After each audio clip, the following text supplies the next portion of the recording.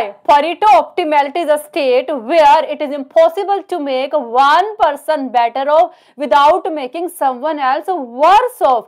First condition of Pareto optimality, efficiency in exchange. According to this condition, we cannot increase the utility of one consumer without reducing utility of other consumer. Horizontal side X good, vertical side Y good. We have two consumer A and B. Indifference curve of A start from here means black one indifference curve belongs to A.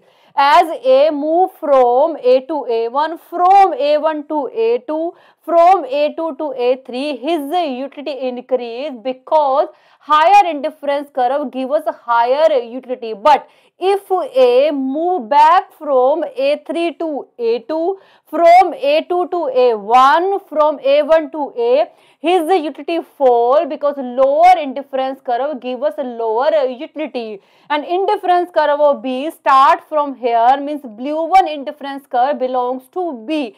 As B move from B to B1, from B1 to B2, from B2 to B3, his utility increase because higher indifference curve give us a higher utility. But as B move back from B3 to B2, B2 to B1, B1 to B, his utility fall because lower indifference curve give us a lower utility. This OC, this red one is contract curve all point on this contract curve like Z, H, I, Z shows Pareto optimality. That means all point shows we cannot increase utility of one consumer without reducing utility of other consumer. Suppose initial equilibrium point Z due to any change economy move from G to H point. At H point utility of A increase because A move from lower to higher indifference curve but utility of B fall because B move from um, higher to lower indifference curve.